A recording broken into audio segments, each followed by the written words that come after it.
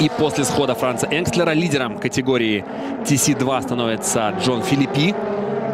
Не так часто. О, и они все-таки выкидывают Юго Валана втроем. Объединив усилия, пилоты Ситроена окончательно портят уикенд молодому французскому гонщику. Похоже, что для Юго Валана на этом гонка закончена. Повреждена подвеска или снова прокол, но так или иначе он вне игры. Понятно, что в команде Кампас разочарование. Да, видно, что вывернуто заднее колесо. Похоже, рычаг подвески там был поврежден. Но даже в этой ситуации Иван Мюллер держался впереди. А смотрите, Лопес! Вот оно, вот оно! Свалилась гора с плечи. Лопес уже атакует так, как никогда бы не атаковал в первой гонке.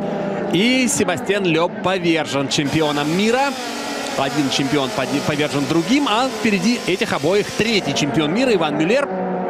У них на всех, дайте-ка прикинуть, 14 титулов чемпиона мира. Если бы еще бы вот тут гонялся в этой гонке бы Энди Приоль, тогда у нас были бы все чемпионы мирового туринга одновременно на трассе. Но Энди Приоль, я даже не знаю, где он сейчас на самом деле, кажется, в Гран-туризма, как-то в ДТМовском чемпионате, куда его по воле БМВ бросили, не сложились дела.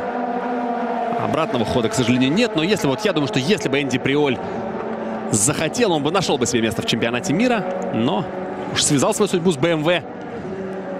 Надо испытывать с ними тогда все беды и все победы.